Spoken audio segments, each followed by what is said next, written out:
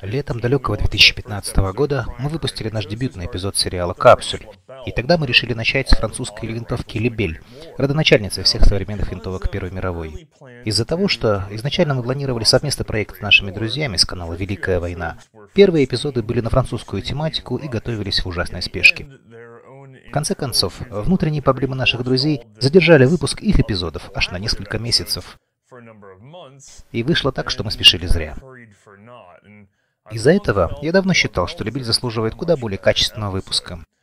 Итак, сейчас вы увидите перевыпуск, ремейк первого эпизода, и он появится в сериале как первый эпизод, чтобы не получилось два выпуска про один и тот же образец.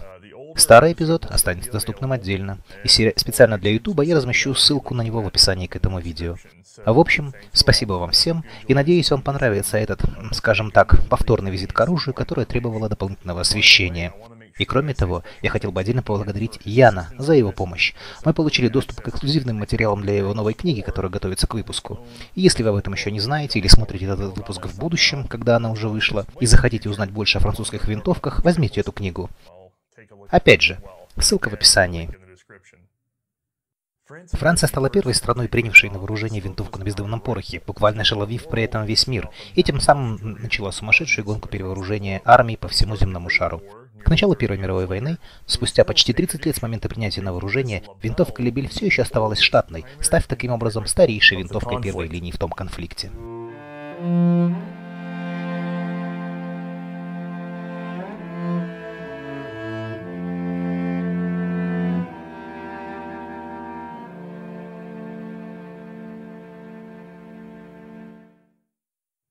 Привет, я Таис, и это, уф, извините за мой французский, это фусиль Моделье 1886 Модефи 93, знаменитая винтовка Либель.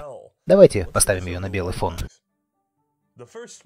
Первая винтовка на бездымном порохе и представительница ранних магазинок, эта пехотная винтовка Старого Мира достигает длины аж 131 см. Впрочем, длина ей только на пользу, потому что у нее подствольный трубчатый магазин, вмещающий 8 8-мм патронов, и заряжается не туда по одному, что довольно медленно. Еще можно поместить девятый нападаватель, но досылать десятых патронник не следует, так как это противоречит официальной французской военной доктрине того времени, ведь у этой винтовки нет предохранителя. Общий вес превышает 4 килограмма, довольно тяжеловато, и это без патронов. Как и остальное оружие в нашем сериале, Лебель не появилась вдруг из ниоткуда. А, и поэтому я затронул несколько идей, о которых мы уже рассказывали по ходу нашего сериала. Ведь в конечном счете Лебель стала переходной винтовкой, как бы мостиком из старого мира дымного пороха в новую бездымную революцию. И она представляет собой кульминацию развития двух конкретных конструкций винтовок. Вернемся по времени назад к игольчатой винтовке Шаспо, основному оружию французской пехоты во франко-прусской войне. Огромные потери той войны, тем не менее, зажгли сердца французского народа, и Франция вновь сосредоточилась на соперничестве с Германией, особенно в деле развития военных технологий и тактики. Ввиду этого, когда немцы приняли на вооружение винтовку Маузер образца 1871 года, однозарядную винтовку, использующую патрон с дымным порохом, металлической гильзой и цитальным воспламенением, французы ответили принятием своей винтовки системы ГРА образца 1874 года. Ее мы уже рассматривали в нашем сериале. Тогда мы еще подметили, что она во многом являлась простой адаптацией предыдущей системы ШАСПО. Во всяком случае, на момент принятия на вооружение, винтовка ГРА была полностью современной. Металлическая гильза была в то время вершиной военных технологий, если, конечно, не смотреть на швейцарцев. Еще в 1867 году они получили на вооружение магазинную винтовку, позволявшую солдату сделать несколько выстрелов подряд, прежде чем ему придется перезаряжать свое оружие. Если вам сейчас это кажется несомненным шагом вперед, то вы явно не генерал 19 века. Магазины сложные и дорогие в производстве. Они могут нарушить залповый равномерный огонь пехоты. А я напомню, это было время, когда войска стреляли друг друга по команде офицера, выстроенными в линии. Магазины добавляют к оружию вес, и к тому же быстрая стрельба увеличивает расход боеприпасов, а тыловое обеспечение до повсеместной механизации войск попросту могло не справиться с возросшими потребностями. Нет, все же лучше обучать солдат редкой, но меткой стрельбе. Кстати, магазин, конечно, способен увеличить скорострельность бойца в определенный, короткий момент боя. Но в целом, если зарядить 8 патронов в магазин и сделать 8 выстрелов, это займет по времени практически столько же, сколько 8 выстрелов, заряжаемых каждый раз по одному патрону. Поэтому единственный существенный плюс – это та самая короткая серия выстрелов, что, кстати, как раз и хотел французский флот. Как мы знаем из одного из наших предыдущих эпизодов, в конечном счете они обратились к магазинной винтовке системы Кропатчика, чтобы дать своим морским пехотинцам любое преимущество, которое было на тот момент. Ведь им зачастую приходилось высаживаться на берег против численно превосходящих сил туземцев.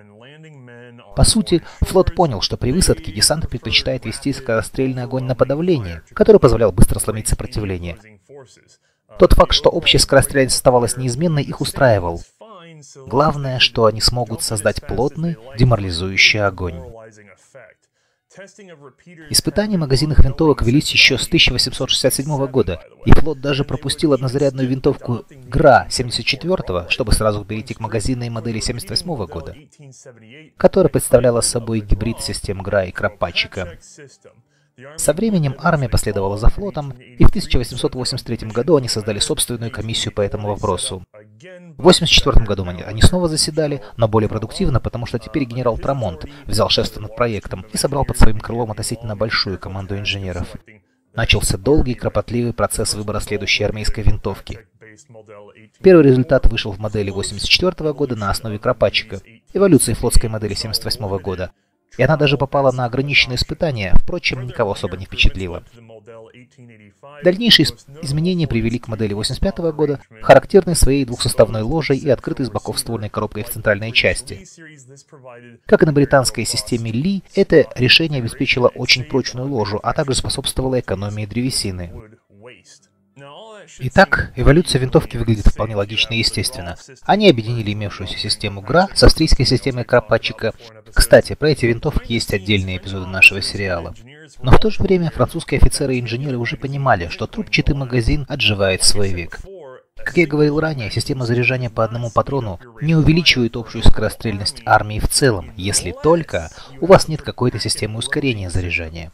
Если вы способны зарядить несколько патронов в одно движение, столько же по времени, как один патрон, то тогда скорострельность солдата увеличивается.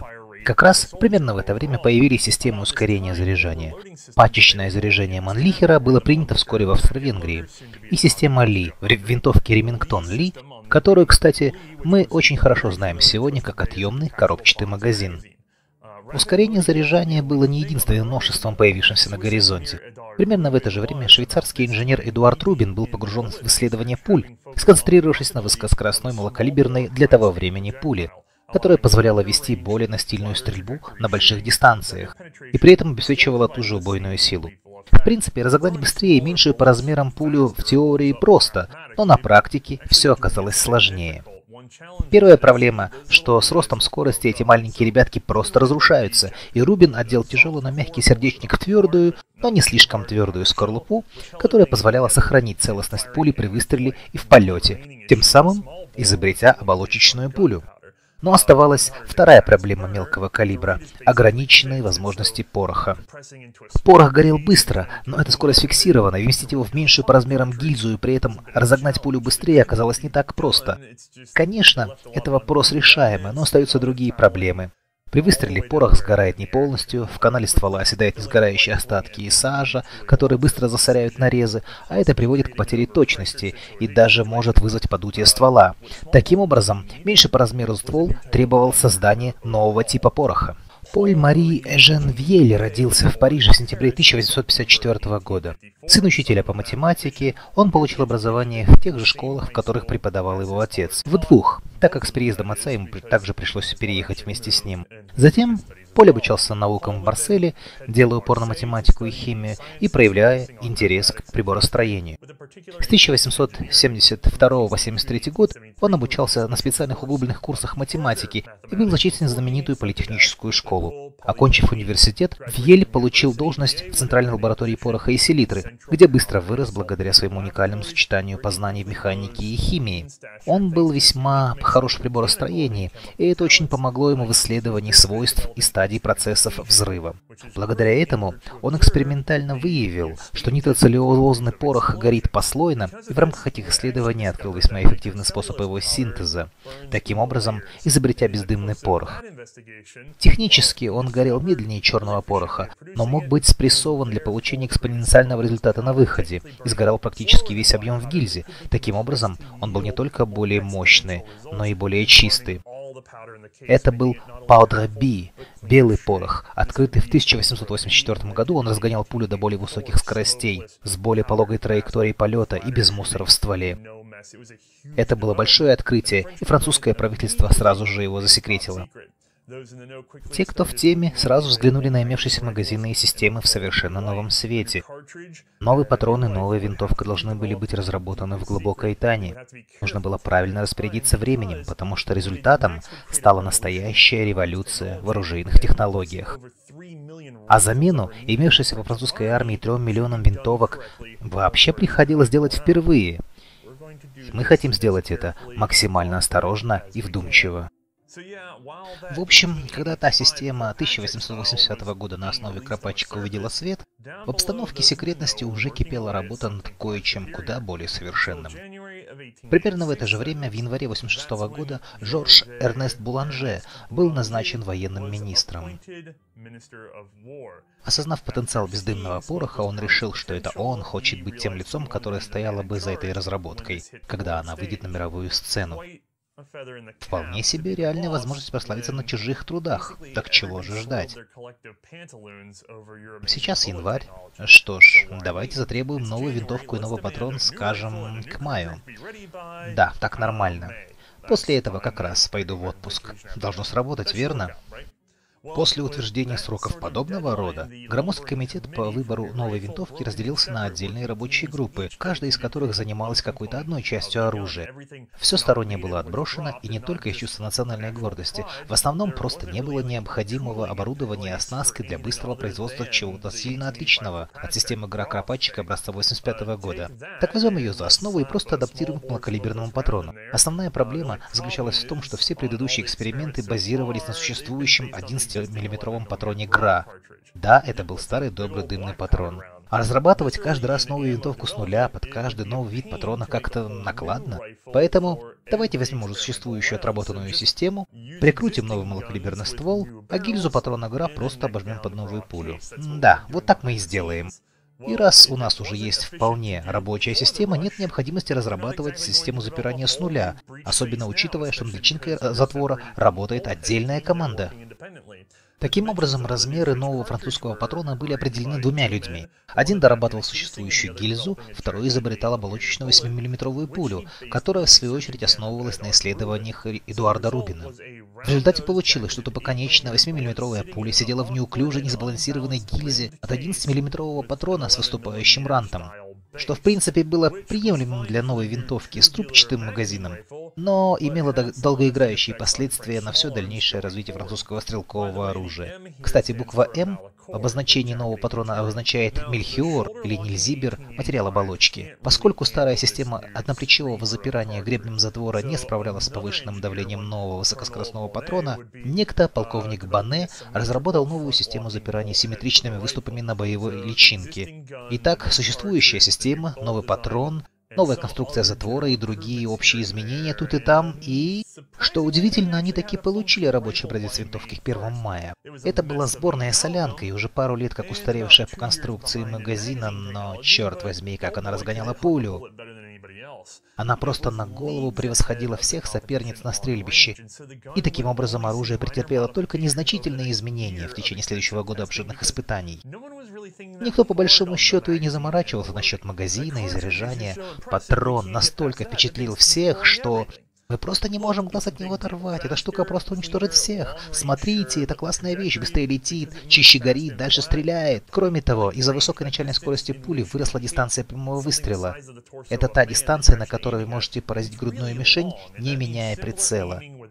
А это значит, целиться стало куда проще, и нужно меньше возиться с прицелом, и дистанция огневого боя увеличивается. Можно сравнить с резкостью на камере. Гораздо больше врагов стало возможно держать в фокусе, не перенастраивая объектив. Итак, в апреле 1887 года винтовка была официально принята на вооружение как модель 86 года по времени разработки. Конечно, все хотят назвать свое оружие более звучно, чем просто скучное название типа этого. Так, посмотрим. Это магазин Кропатчика, затвор ГРА усовершенствованный Бане.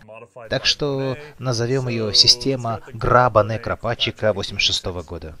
Нет, это ужасно. Ладно, давайте назовем с другой стороны и назовем ее в честь председателя комиссии. Пусть будет система Трамонда 86 -го года. И тут, в принципе, надо бы поставить дефис, потому что вокруг разработки этой модели публично фигурировали два основных имени. Первый, конечно, Трамонт, а второй, как ни странно, тот парень по имени Николя Лебель. Он родился в Сен-Миеле в августе 1838 года и в 1955 году поступил в военную академию Сен-Сир. В 1857 году попал в пехоту в звании второго лейтенанта и во время франко-прусской войны дорос до капитана и командира роты. Однако в сентябре 70 -го года был пленен и отпущен только после подписания Франкфуртского мира. Будучи вовлеченным в реставрацию вооруженных сил Франции после войны, в 1876 году он получил звание майора и стал напрямую участвовать в разработке новой винтовки. В 1983 году он был назначен руководителем армейской стрелковой школы, которая, кстати, стала также и домом для того самого испытательного комитета. Кроме того, Либель похожа на «la belle», красотка по-французски. Ну а что, очень хорошее получается имя для винтовки. И ведь он тоже участвовал в разработке. Что он там изобрел? А, точно, это как раз тот парень, который отвечал за разработку 8-миллиметровой оболочечной пули, которая базировалась на работе Эдуарда Рубина. Ну хорошо, давайте все равно назовем ее Либель. Звучит красиво и благозвучно. Что, думали, эта винтовка тут у меня сегодня? Не совсем. Если приглядитесь, то увидите некоторые отличия. Но я вас прощаю. Поэтому давайте копать дальше. Подготовка к производству модели 86 года началась практически сразу же в центре, в Шателеро. Это была хорошая встряска, ведь нужно было применить все самые лучшие технологии на первой серии, а это около тысячи винтовок, которые были выпущены в период до сентября 87 года. После этого три правительственных арсенала запустили полномасштабное производство. В первую очередь, конечно, Шателеро, затем Сен-Этьен и Тюль. Каждый производитель получил набор буквенных префиксов, которые наносились особым стилизованным шрифтом перед серийными номерами каждой партии из 100 тысяч штук. Новейшее оборудование и оснастка были закуплены в США, и хотя рабочая неделя продолжалась 6 долгих дней, но уже к концу 1892 года производство 3 миллионов винтовок было завершено. Этого было достаточно для полного перевооружения армии Франции, ее резерва и заполнения складов. Титаническое достижение. Дальнейшее производство велось затем лишь отдельными партиями до 1904 года, в основном для замены или ремонта изношенных или утраченных винтовок, а также для оснащения небольших увеличений армии. Производство стволов учитывалось отдельно, они маркировались двух- или трехбуквенным кодом на самом стволе. Вот представляю их вашему вниманию. Более подробные данные по маркировке и производству можно найти на английском языке в новой книге некого Иоанна Маккалума, так что не поленитесь, прочтите, если вам интересны детали и нужна более точная идентификация. Новая винтовка, конечно, шла в комплекте с новым штыком. Образец 86 года был отходом от традиционного клинка. Основной акцент был сделан на максимальной досягаемости при минимальном весе. И таким образом был выбран жесткий и легкий игольчатый штык четырехгранной формы, более 50 сантиметров длины. Вам точно не захочется получить укол от чего-то такого. Как и любой другой новый образец, этот штык претерпел несколько изменений в течение первых лет производства, впрочем, как и сама винтовка. Эти небольшие изменения просто внедрялись в производство по мере появления, без внесения изменений в ранее выпущенные образцы. К 893 году объем усовершенствования достиг такого уровня, что стало возможным обновить обозначение всей системы. Кстати, это как раз то, что у меня сегодня на столе. Модель 1886 года, модификация 11.3. И пока я буду вам рассказывать об этой конкретной модификации, я обозначу некоторые эти усовершенствования. Ладно, парни, вы только посмотрите на размер этой пушки. Я постараюсь не задеть ее ничего вокруг. И мы почти дошли. Вот, до самого конца. Хорошо, с этой стороны мы видим замечательную тонкую мушку, выступы для крепления штыка и само основание для его упора вот тут. Здесь у нас стержень с круглой головкой для постановки винтовки в козлы, который, кстати, был добавлен в 1993 году. А ложевое кольцо с пружинной защелкой было сдвинуто при этом назад. Вот наш ствол, ровный тонкий как карандаш, без ступенек, без ничего. Вот заднее ложевое кольцо, ближе к казенной части. Вот тут у нас рамочный прицел с рамкой, сложенной в переднем положении. Подробнее в этом чуть позже. Продолжаем идти назад. И смотрите, что тут случилось. Деревянная ложа разделилась. У нас отдельное цевье и отдельный приклад. И на самом деле это оказалось весьма важным для конструкции, потому что это простое и прекрасное решение для производства. Для упрощения деревообработки, для придания большей прочности, а также для уменьшения отходов и общей экономии древесины.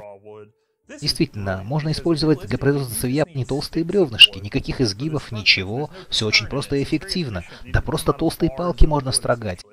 И опять же, посмотрите на размеры приклада, его можно вытащить из бруса дерева примерно вот такого размера. В общем, отходы минимальны. Кроме того, в целом конструкция получается прочнее. Это разделение действительно предотвращает поломку ложи в самом напряженном его месте. Цена за это, что вот тут у нас много тяжелого металла. Конечно, за все приходится платить, но учитывая общую прочность конструкции, мне она больше нравится. По принципу действия, это довольно традиционная система, при которой курок взводится при открывании затвора. Так, проверим, что внутри нет ничего опасного. Закроем затвор.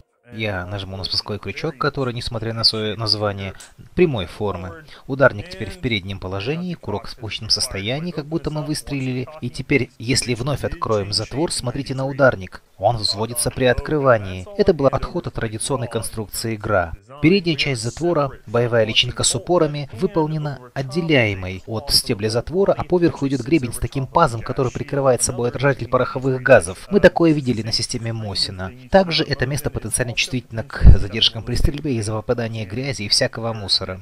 Отдельная боевая речитка, в свою очередь, удерживается на своем месте винтом. Они явно не хотели, чтобы вы разбирали затвор, когда вам вздумается. Нужна как минимум отвертка. И, честно говоря, единственная вещь на этой винтовке, которую я могу разобрать быстро даже с помощью отвертки, это вытащить затвор из ствольной коробки. Но сейчас я не буду это делать. Используйте свое воображение. Нужно выкрутить винт, развернуть под нужным углом, вытащить из оружия. Ну, вы поняли суть. Чтобы заглянуть в сам механизм, нужно немного переставить камеру вот так. А вот наш подаватель, или лоток, или подъемник, или вы можете использовать любой термин, какой захотите, в зависимости от того, насколько таинственно и запутанно вы хотите выглядеть. Сейчас на нижнем положении. И далее, если мы заглянем так далеко, что даже камера с трудом увидит вон там, если приглядитесь, есть такое кольцо. Это и есть настоящий подаватель магазина, какие вы, наверное, видели в помповых дробовиках. Этот подаватель выталкивает патроны назад на лоток. Примерно здесь находится отсекатель патронов, поэтому длина самого патрона не имеет особого значения. Отсекатель остановит следующий следующий патрон. Когда лоток опускается снова, он на своем пути отожмет отсекатель на какой-то момент, освобождая патрону путь на лоток. А следующий за ним снова упирается в отсекатель и остается в магазине. Это очень хорошо, поскольку больше нет склонности к задержкам из-за разницы в длине патронов. А теперь, если подать затвор назад более энергично, со смаком, он поднимет лоток вверх. Это потому, что сзади есть небольшой выступ, который находится на пути следования затвора, и затвор, когда доходит путь до конца, там, кстати, есть ограничитель его хода, вот он нажимает на выступ, и лоток поднимается вверх. Тот подает следующий патрон, затвор при движении вперед подхватывает его и подает в патронник. А затем, видите, вот тут торчит небольшой выступ. Вот пока он торчит, он готовится нажать на лоток внутри. Так что, если я закрою затвор, видите, готовы, готовы, готовы. Щелк. Вот в этот момент лоток опускается, и если я снова открою затвор и мы заглянем туда, то увидим, что он в нижнем положении. А когда я снова отведу затвор назад, он снова поднимет лоток. Но я думаю, вы поняли суть. Мы видели это на винтовках Кропатчика, которые, безусловно, оказали огромное влияние на эту систему. Теперь, если вы хотите переключиться в режим однозарядной винтовки, то вам нужно сдвинуть вперед этот флажок. Я сейчас напрягусь и покажу, что случится, если вы передвинете его. Так вот, если вы его передвинете при нижнем положении лотка, то вы попались. Усилие тут 18 килограмм. Продолжаем. Бум. Эта штука поднимает лоток вверх и держит его в верхнем положении. Если вы снова закроете затвор, то тут уже ничего не торчит. И вот раз и два, лоток остается в верхнем положении. Вот вам однозарядная винтовка и полный магазин в запасе. Так, теперь о прицельных приспособлениях. Здесь все довольно стандартно, хотя они совмещают несколько функций. Если внимательно посмотрите, то увидите риски на этой стороне прицельной колодки, но у нас также есть и рамка с хомутиком. Если мы сложим ее назад, то можем использовать эти указатели для ближних дистанций. Если переключимся в так называемое «боевое положение» в кавычках, то мы можем использовать его на дальности прямого выстрела. Кажется, это 250 метров. Целясь через вот эту прорезь. Кстати, она немного смещена левее, видите? Не совсем по центру. Но мушка тоже, соответственно, смещена, так что они работают нормально вместе. Теперь, если вам нужна стрельба на дальней дистанции, в основном для залпового огня, вы просто поднимаете рамку в вертикальное положение и используете указатели на ней. Таким образом, это дает достаточно большой диапазон дистанции, на которой можно потенциально вести огонь. И опять же, мы можем сказать, что это модель 93 -го года, потому что видим два хомута усилителя вокруг ствола. Кстати, все эти мелкие изменения так и не стали причиной отзыва ранее выпущенных винтовок. Они внедрялись по мере производства. И так бы, наверное, и продолжалось, если бы не принятие нового патрона. В 1898 году Франция вновь оказалась впереди планеты всей и представила Спицер, или остроконечную пулю, которая в данном случае была сделана целиком из тампака. Остроконечная пуля еще больше увеличила точность и настильность траектории полета. Правда, патрон был вскоре заменен на Бальди АМ, но в данном случае это просто указывало на модифицированных капсуль. Главным образом было усилено крепление капсуля в гильзе, чтобы предотвратить его выпадение при стрельбе. Внедрение Бальди вызвало модернизацию всех выпущенных лебелей, и не только из-за изменения прицельных приспособлений. Патроники были модифицированы, новый подаватель был добавлен в трубчатый магазин, чтобы лучше направлять патрон с стоконечной пулей. Во время этого обновления все винтовки были приведены к стандарту М93, и сейчас очень тяжело найти образец в исходной конфигурации 86 года. Почти все они были переделаны. Ну вот, мы проделали этот путь, ребята, и дошли до того момента, когда получилось именно то, что у меня в руках сегодня. А это значит, что мы можем заглянуть внутрь благодаря анимации от Бруна. Сначала заполним магазин, вставив 8 патронов калибра 8 мм либель в трубку магазина. Каждый щелкает, проходя отсекатель. Изначальная доктрина говорит о том, что полный магазин держится в резерве для критического момента боя, поэтому переключаемся в однозарядный режим. Лоток на заднем плане поджат и удерживается боковым рычагом отсечки магазина. В этом положении этот пальцеобразный выступ также опущен, означая, что стебель затвора не задевает его при закрывании. На выходе получаем обычную однозарядную винтовку. Чтобы вновь подключить магазин, отведем флажок назад. Это освободит лоток и позволит пальцеобразному выступу подниматься.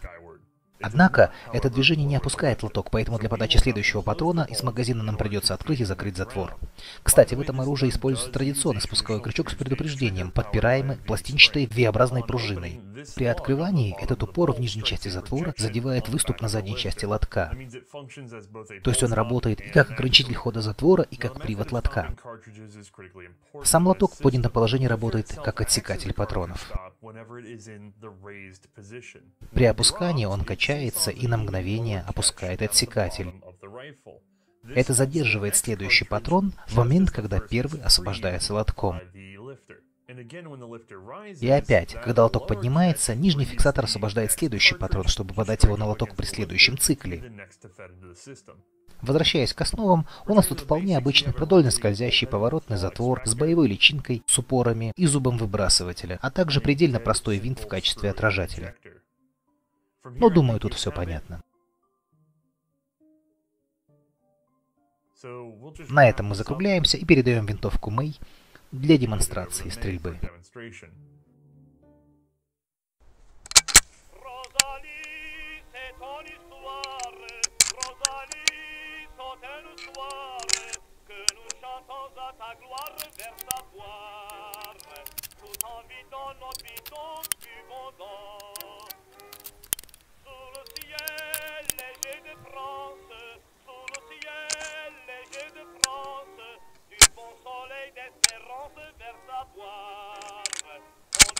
le guerrayon fut content.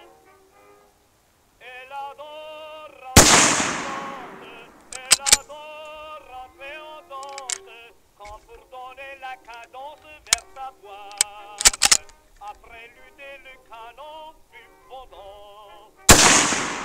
La volca dont elle se charge, la volca dont elle se charge, exécute son pas de charge vers sa voix.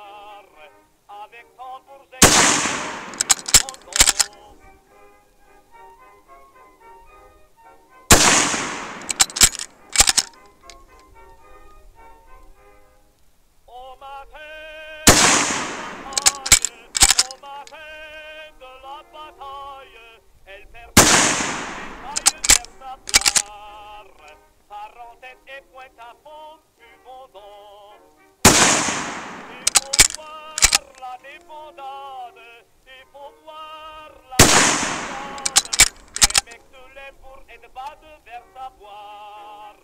Des bavarois, des saxons. Sois sans peur et sans reproche. Sois sans peur et sans reproche.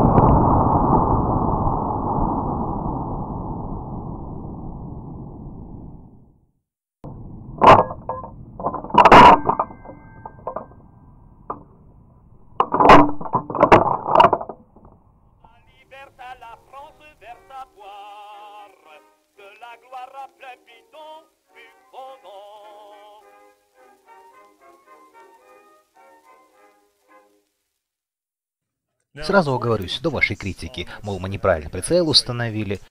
Конечно, обычно для прямого выстрела, кажется, на 250 метров рамку нужно складывать в переднее положение. Но данный конкретный образец немного не такой, он почему-то не любит этого. Он попадает в мишень гораздо лучше с рамкой в заднем положении, поэтому мы так и использовали ее на стрельбище. А вообще, обычно да, надо перекидывать вперед. Ну ладно. Давайте вернемся к нашей истории. Нам нужно еще рассказать про службу винтовки Лебеля в войсках. К моменту принятия ее на вооружение французские колониальные силы были разбросаны по всему миру, поэтому первое применение новой модели 86 года происходило против относительно плохо вооруженных недругов, что, разумеется, приводило к неизменной победе французского оружия. Наиболее ранний конфликт с применением этой винтовки, насколько я знаю, произошел в Сенегале и Кот-д'Ивуаре в 1892 году. Они также засветились во время Второй французско-дагомской войны, они же однозначно были в руках солдат во время второй экспедиции Франции на Мадагаскар в 94-м. Но там все было решено главным образом артиллерией. Оттуда была поездка в Китай и восстание боксеров, где Лебель встал плечом к плечу с другими винтовками, о которых есть свои эпизоды сериала. И в принципе, к 900 году Лебель уже выдохся. Поспешная разработка и постановка в производство, и вот она цена. Модель была слишком революционной. А ведь раньше армии не спешили внедрять новые технологии, пока очевидное превосходство малокалиберной пули на бездымном порохе не заставило всех шевелиться. Очень скоро практически каждая более-менее сильная власть на Земле получила свою бездымную винтовку. И у них было вполне очевидное преимущество. Они шли по проторенному пути, имели роскошь более рационального выбора и применения технологий, которые к тому моменту уже имелись на рынке. Вспомним, основная партия Либели была закончена в 892 году. Но в это время мы уже видим австро-венгерский Манлихер, который был сначала принят с патроном на дымном порохе, потом на бездымном в карабине образца 890 года, который после нескольких изменений превратился в винтовку образца 895 года. Эти системы использовали отлично сбалансированный серединный магазин вертикального типа, наполняемый в один прием при помощи пачки. Та же технология была усовершенствована немцами в их винтовке образца 88 года и также применена в итальянской Каркана 891 года. Бельгийцы приняли на вооружение систему Маузера 89 года с обойным заряжанием. Испытания тех винтовок вместе со своими собственными разработками, включая кое-какие наработки Лебеля, вылились в российскую систему Мосина образца 1891 года, еще одну винтовку с обойным заряжанием. Британцы пошли еще дальше, приняв отъемный коробчатый магазин Ли Метфорда, хотя они почему-то не использовали его для собственного перезаряжания, так что толку от этого было мало. Все эти системы сумели обойти главные недостатки трубчатых магазинов. В свое время мы их уже обсуждали, но давайте пройдемся по ним еще раз. Трубчатые магазины долго заряжать. Обычно они не приспособлены под какие-либо устройства для ускорения заряжания. По мере расходования боеприпасов из магазина у них меняется баланс, сдвигается точка равновесия. Это также может влиять на колебания ствола при выстреле, таким образом ухудшая кучность и точность. Кроме того, такие магазины могут быть потенциально подвержены непроизвольной детонации патронов в магазине, если пуля заднего патрона наколет капсуль переднего, особенно после появления стоконечных пуль. И хотя вероятность этого очень мала, но страхи были вполне реальны. А в течение нескольких лет работы над этим сериалом я нашел парочку документально подтвержденных случаев. Откровенно говоря, Франции нужно было обновление, и они хорошо это понимали. В качестве временного решения был принят Бертье, трехзарядный карабин с пачечным заряжанием, который в определенных условиях подменял Либеля. Про него мы рассказывали в отдельном эпизоде. Правда, Бертье не был настолько хорош, чтобы претендовать на роль основной винтовки. Но французы хотели пойти еще дальше и первыми в мире принять на вооружение еще и автоматическую винтовку. К сожалению, спешка при создании Либеля подарила им самый неподходящий для этого патрон. Эти неуклюжие штуковины были настоящим проклятием при создании автоматического оружия. Они требовали стопроцентного контроля при подаче патрона. В итоге такие виды оружия под 8 мм патрон Либеля крайне немногочисленны. В общем-то, мы поговорим о них в другой раз, и может быть даже посмотрим на такую самозарядку. А если вкратце, то из-за ожиданий скорого принятия автоматической винтовки, Франция так и не взялась заменить Лебель. Они застряли на вооружении в 900 и в 910 году, до тех пор, пока не была объявлена война.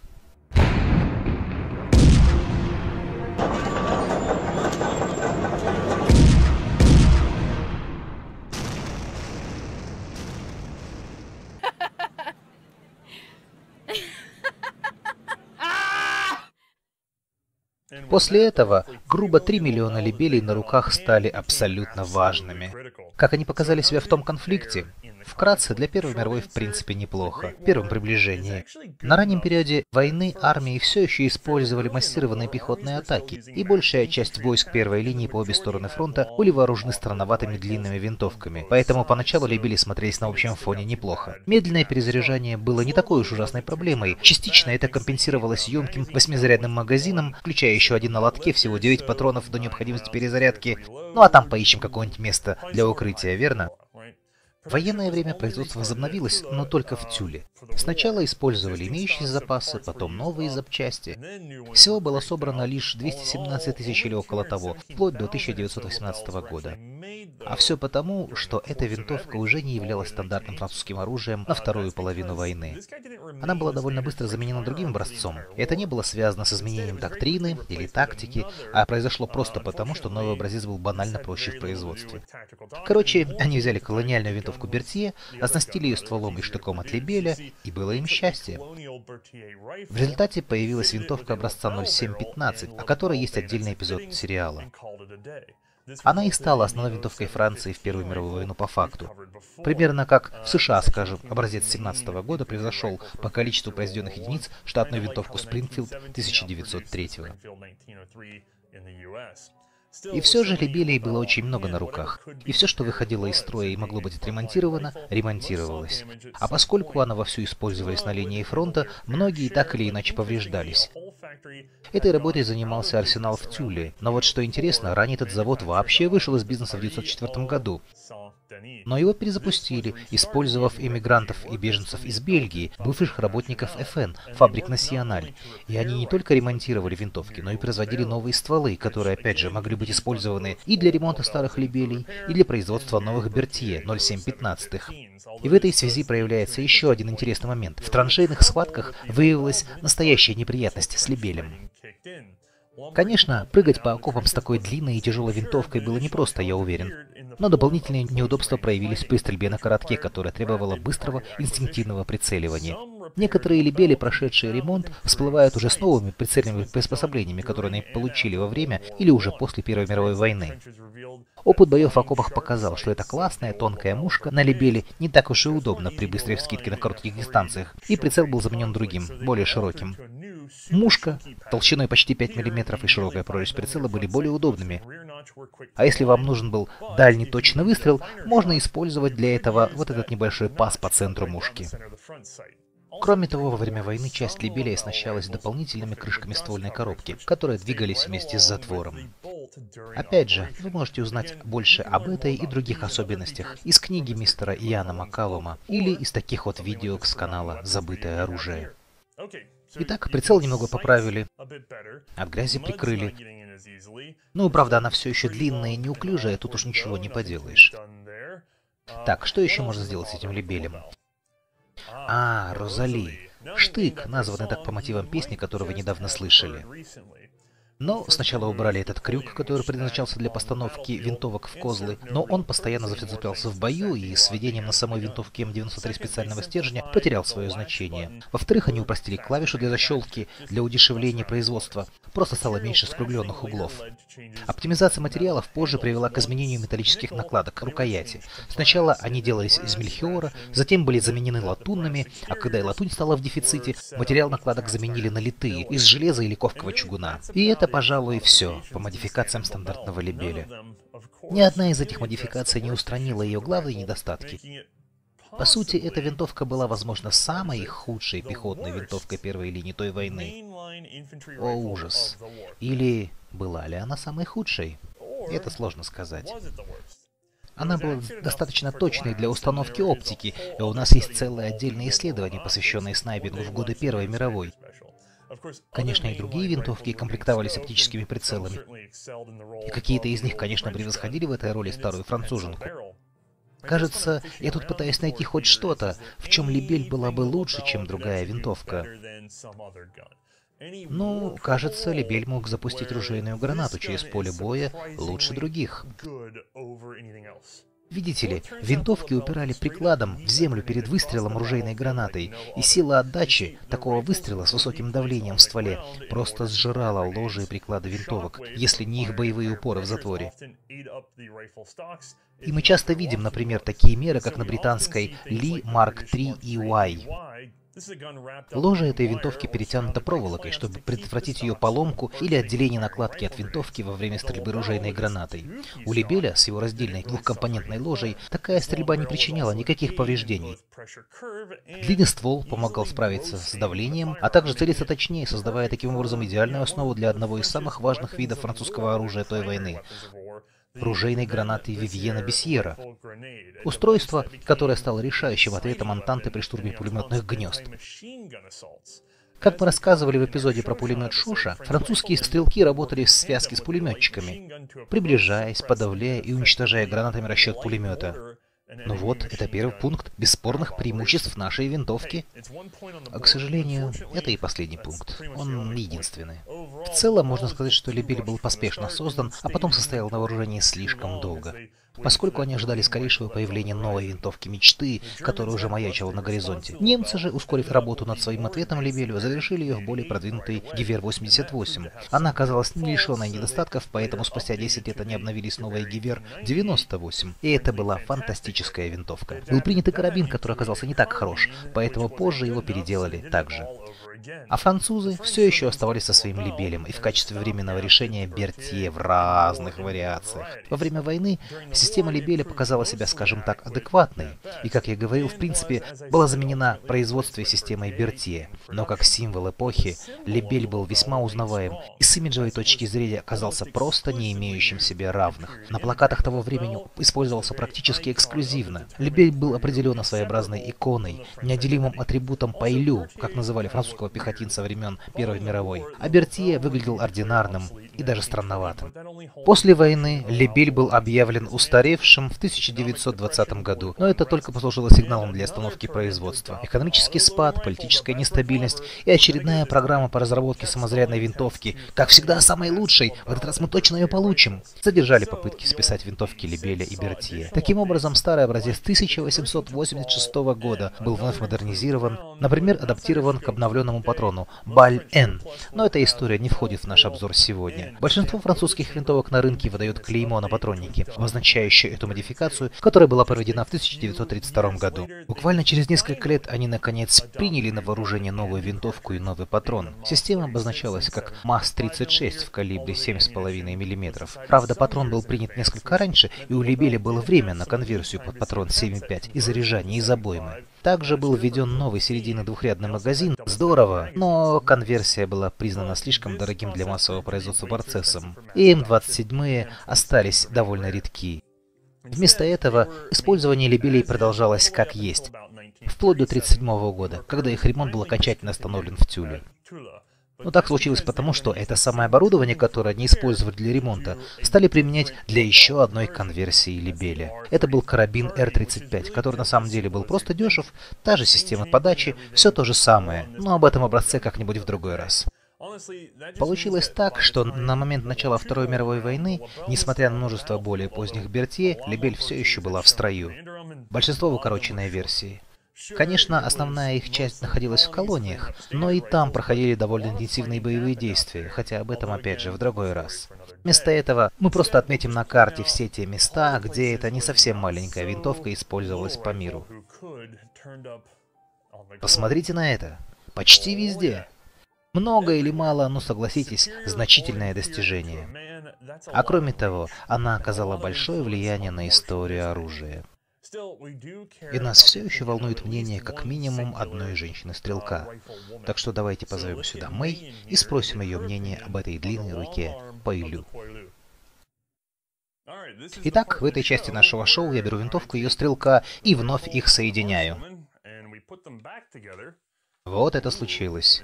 И теперь давайте спросим у Мэй ее мнение по обращению с этой винтовкой.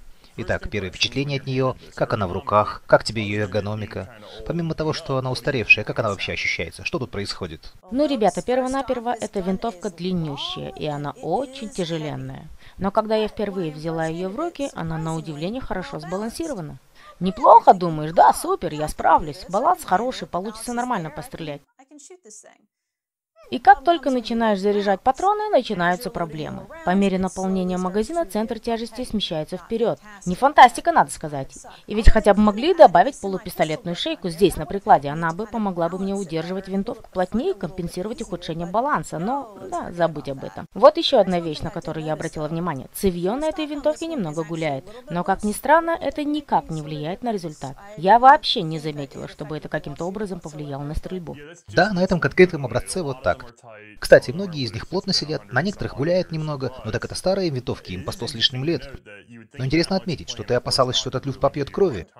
Да, если посмотрите, то видно, что люфт довольно значительный, но во время стрельбы мне действительно показалось, что это совершенно не влияет на результат. Ты постоянно об этом упоминала, когда возилась с этой винтовкой, что как только выжимаешь спуск, все остальное уже не играет роли. Ну ладно, хватит об этом. Допустим, что подгонка фурнитуры не так существенна в плане точности. Хотя, знаешь, мы стреляли на близкую дистанцию, если вы переставили мишень подальше, может быть, недостаточная жесткость, плюс этот тонкий ствол испортили бы нам точную стрельбу. В общем, это может быть проблема, а может и нет. Я думаю, мы запишем этот вопрос на будущее и посмотрим, кому его можно задать. Так, ты упоминала прямой приклад без полупистолетной шейки, и я хочу сказать, что маловероятно, что им пришлось так сделать, ведь вся эта конструкция экономила на древесине. И мы говорили об этом ранее, но еще раз, чтобы получить такую ложу, нужно специально для этого обрабатывать всю заготовку в соответствии со структурой древесины по всей длине ложи. И если кто-то отказался от полупистолетной шейки только из-за упрощения производства, то это явно были не французы. Мне кажется, они просто не ставили ее в приоритет, а если учесть, что эта винтовка рассматривалась больше как однозарядная, они предпочли прямую шейку приклада просто потому, что так удобнее и быстрее стрелять по одному патрону, поднимая ее от бедра каждый раз после заряжания, то есть они не рассматривали ее исключительно как магазинную и не застряли внимание на полупистолетной шейке приклада. Согласна, но проблема именно с этой моделью. Как я говорил, такая форма ложи помогла бы мне с балансом, когда можно плотнее прижать винтовку к плечу, как мне кажется. Да, когда стреляешь с рук, и весь этот вес давит на левую, то разгрузить ее правой рукой упором в плечо было бы весьма кстати. Да, давайте поговорим, собственно, про механизм этой винтовки. Я бы не сказала, что он какой-то особенно тугой или плавный. Скорее, что-то среднее. Курок взводится при открывании затвора, и мне бы хотелось, чтобы эта рукоять была чуть длиннее, чтобы был побольше, побольше рычаг. Тогда обращаться с затвором было бы намного легче. И я не знаю, видите ли вы это в кадре, я отдельно вставлю фото. И видите, тут небольшой вырез сверху на гребне затвора, и мне кажется, он будет чувствителен к попаданию туда грязи и прочей дряни. И, к сожалению, это такая конструкция. Тут есть небольшой выступ, и когда поворачиваешь затвор, нужно завести вырез на выступ. И если там окажется посторонний предмет, то затвор может заклинить, и сразу придется чистить, выдувать этот мусор или что-то еще. Мы видели такое на Мосине, а ребята с канала InRange, на стрельбище по-нашему, проводили испытания винтовки Мосина грязью. И пас действительно забился, и на это постоянно приходится обращать внимание. Это из-за того, что боевая личинка с упорами выполнена как отдельная деталь от стебля затвора, и они должны как-то соединяться при экстракции. Это решается через гребень затвора.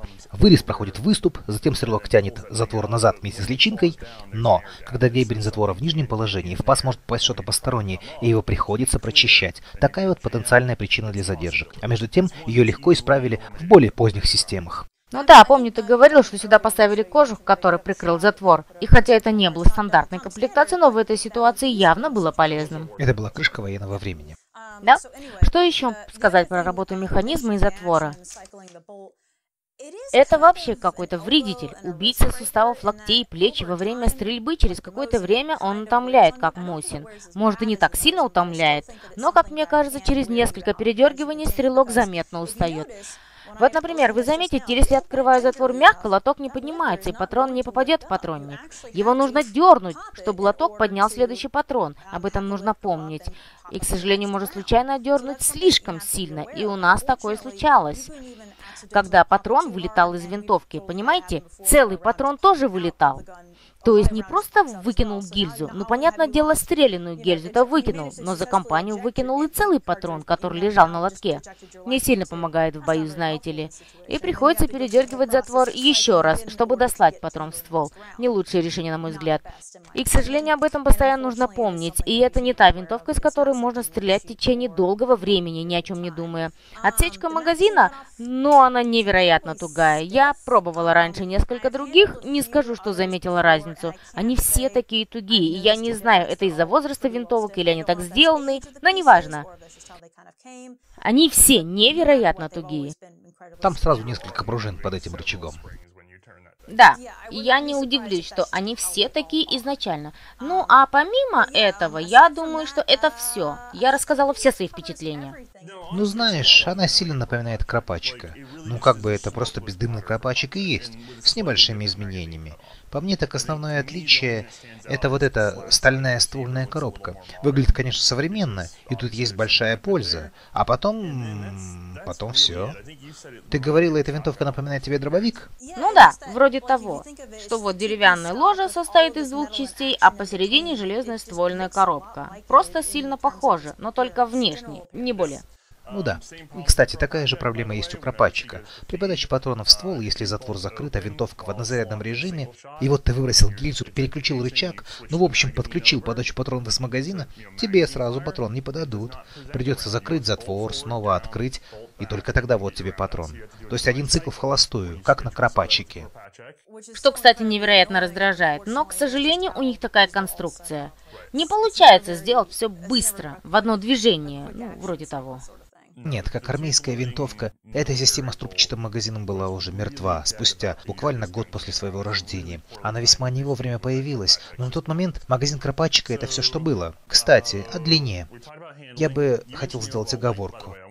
Мы говорили, что трубчатый магазин был устаревшим. Длина нам тоже кажется сейчас чрезмерной, но на тот момент это было не так.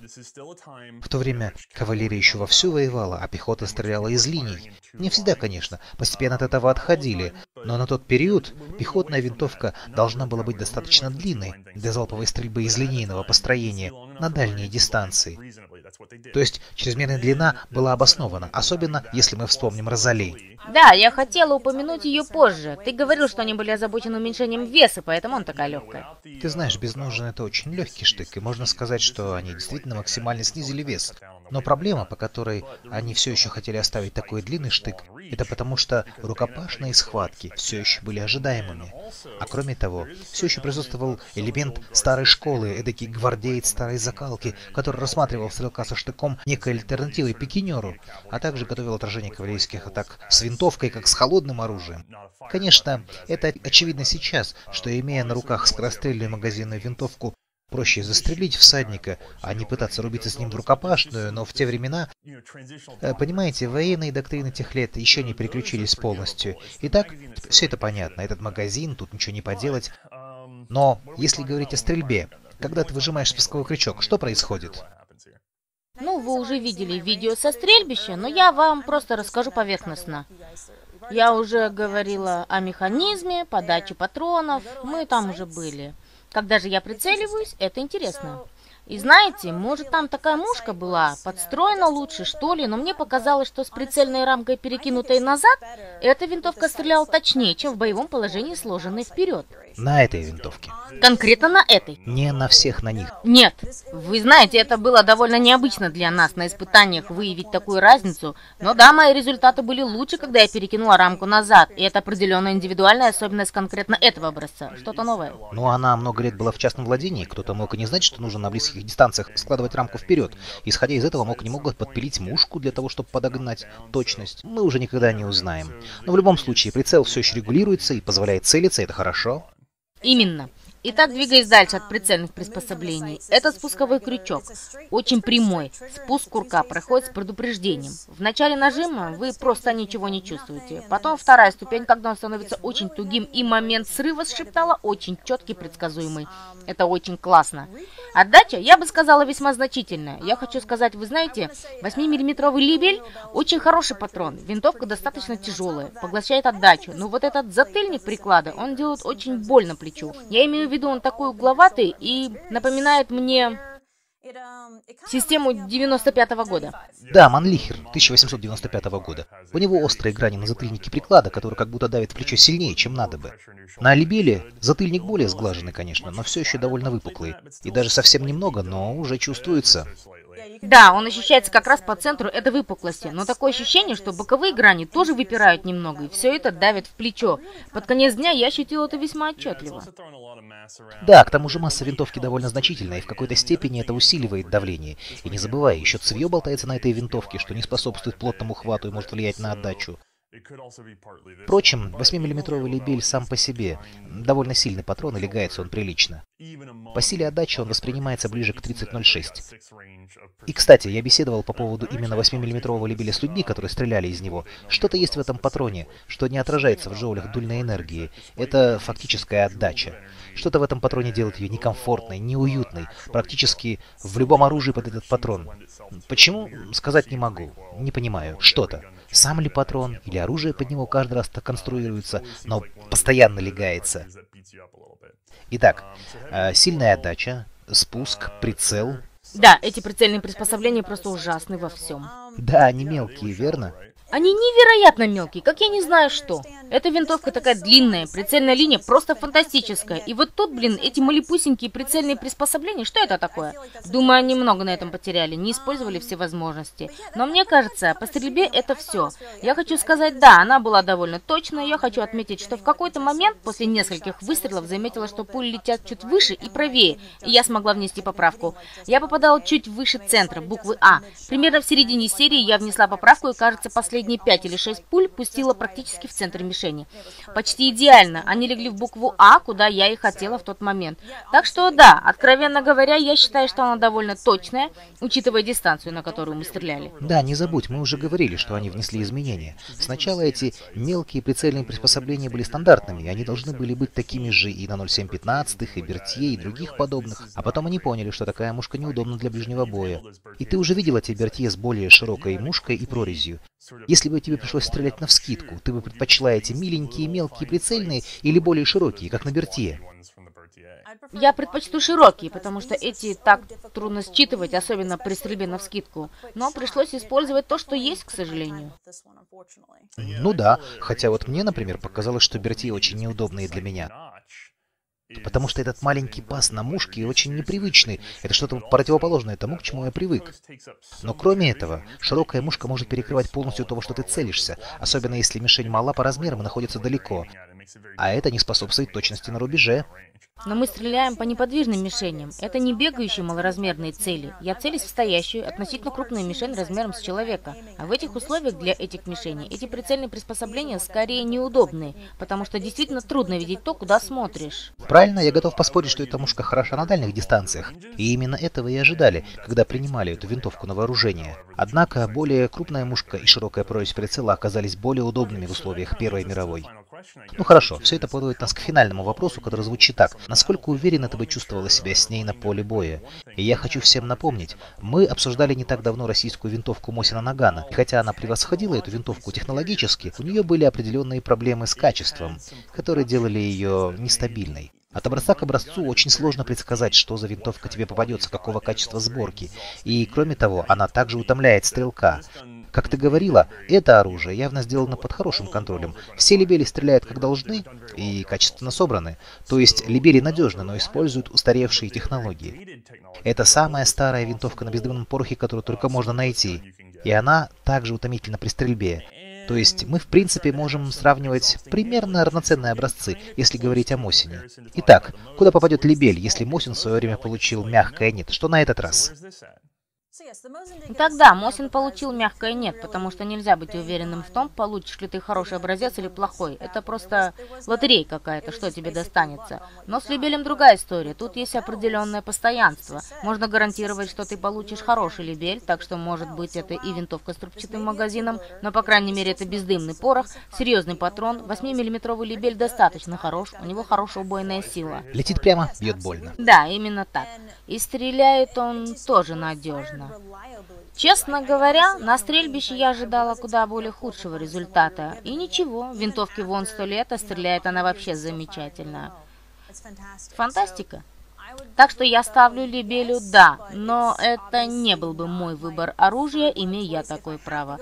То есть, если бы пришлось идти с этим на войну, я бы его взяла. Но если бы, к примеру, был выбор между ним и Бертье, то не факт, что я взяла бы именно Либель. Но объективно говоря, тут все довольно непросто. Потому что вот я, например, если нужно сидеть в окопе, я бы ее взял. Если нужно метать ружейные гранаты, взял бы. Если я был снайпером, я бы, наверное, тоже ее взял. Хотя, конечно, я не так много знаю о высокоточной стрельбе и точности стволов. А вот если бы пришлось выйти из окопа? Вот в этом-то и проблема. Не так-то просто выпрыгнуть из окопа с этой штукой. Мы должны еще раз показать вам эти кадры с Первой мировой войны.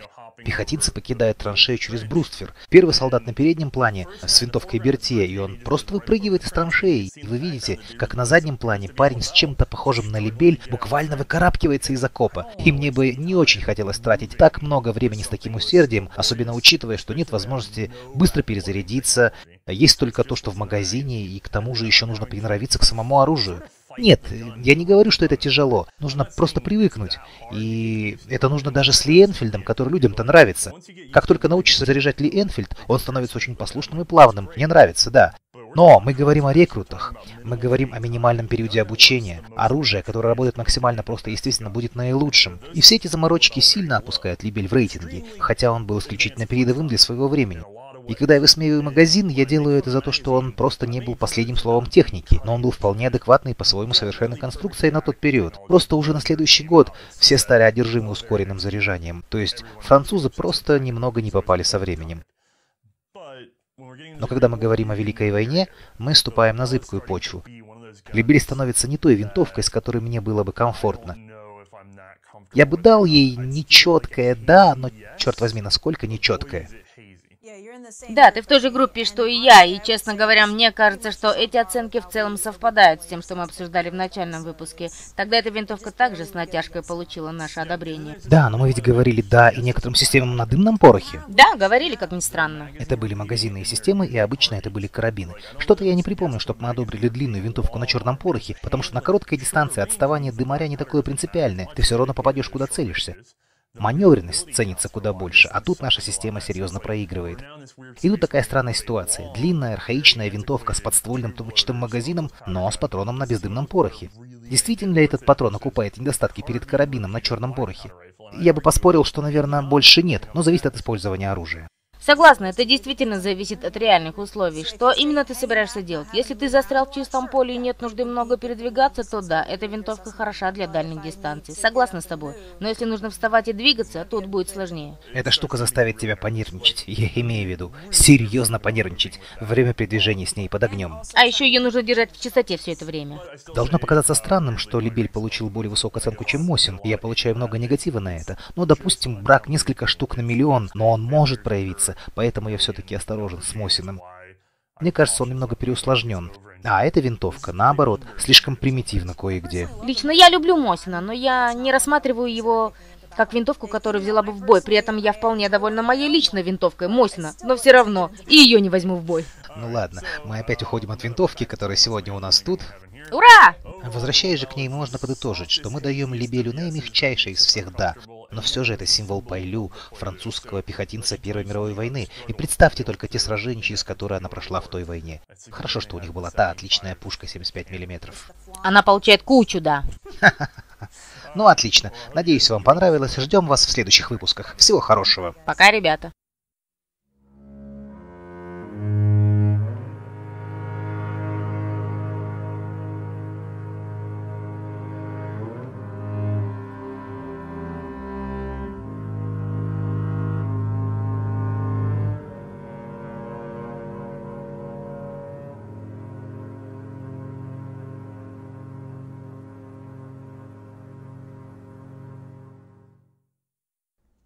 Just a small update. Othnius and I are trying to pull ahead in production so that we can yet again leave town, this time for a quick trip up north. Promise we will be back soon. For any updates on our trip, follow us on Instagram. Otherwise, as always, thank you all for the support and hope y'all enjoyed this much needed remake of our first episode.